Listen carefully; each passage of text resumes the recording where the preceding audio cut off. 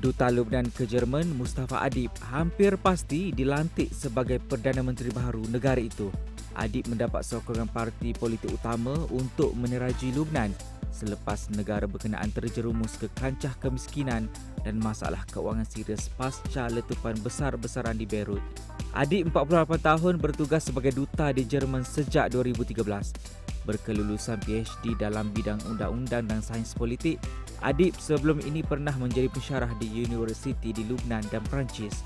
Beliau juga bekas penasihat kepada bekas Perdana Menteri Lubnan Najib Mikati. Sekumpulan bekas Perdana Menteri termasuk Saad Hariri yang memimpin parti The Future Movement mengumumkan mereka bersetuju memilih Adib selepas memperhalusi beberapa nama. Jika tiada nama lain dibangkitkan, Adib secara rasmi akan dicalonkan sebagai Perdana Menteri dalam satu mesyuarat pada Isnin. Ahli Parlimen perlu memutuskan untuk menamakan seorang Perdana Menteri sebelum Presiden Michel Aoun menugaskan individu membentuk kerajaan baru. Proses itu akan ambil masa selama beberapa bulan. Sehingga sebuah kerajaan baru dibentuk, kerajaan sebelum ini dipimpin Hassan Diab bertanggungjawab sebagai kerajaan sementara. Kerajaan itu letak jawatan bulan ini susulan kemarahan memuncak disebabkan letupan mega di Beirut. Kelab Manchester United hampir ikat pemain tangan Ajax Amsterdam Donny van de Beek. Kedua-dua kelab dilaporkan hampir bersetuju dengan yuran perpindahan bernilai 40 juta pound. Van de Beek dilaporkan jadi perhatian pengendali Red Devil oleh Gunnar Solskjaer. United kini menanti pengesahan dari segi terma peribadi dan perubatan sebelum sah jadi kelab baru buat debate.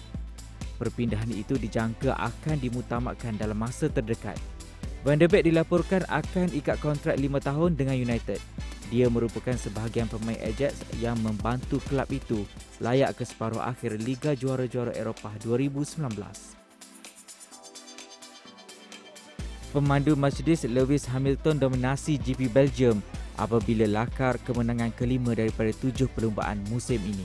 Kemenangan di litar Belgium ini juga adalah yang ke-89 dalam karirnya rakan sepasukan Hamilton Valtteri Bottas di tempat kedua. Sementara itu, pemandu Red Bull Max Verstappen di tempat ketiga. Kemenangan meletakkan Hamilton dengan kelebihan 47 mata bagi saingan pemandu. Dia hanya perlu dua lagi kemenangan untuk menyamai rekod juara dunia tujuh kali Michael Schumacher.